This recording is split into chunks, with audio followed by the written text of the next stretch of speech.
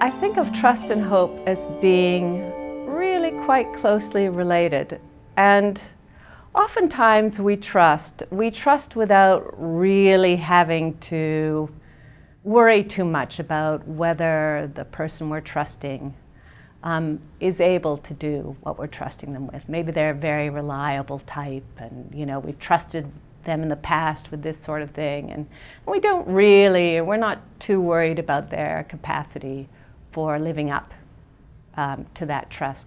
But very often we're having to trust under conditions where we're a little more uncertain, or where we think there's some sort of, as it were, almost moral obligation.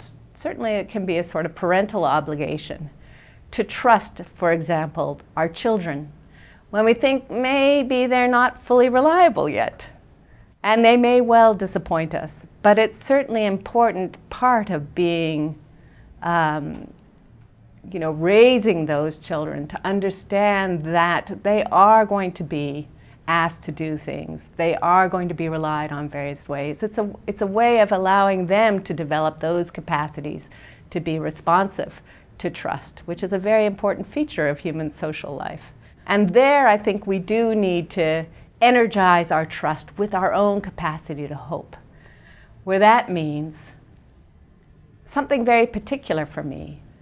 That is to say, when we hope for things, we are always facing the fact that we could be disappointed. And we're facing that disappointment sort of in a clear eyed way. That is, if we're hoping well. And we're saying, you know, I understand what the stakes are here but I think this is an important thing to do. And it's important to regulate my own anxiety about this.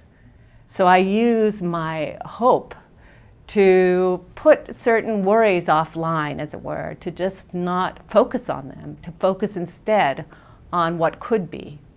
Um, under the right sort of conditions and giving whatever support is necessary to make that come about. Um, but of course, I have to, as a hoper, realize that I could be disappointed, and also, therefore, that I have the kind of capacity to recover from disappointment. That's a very important part of hoping well.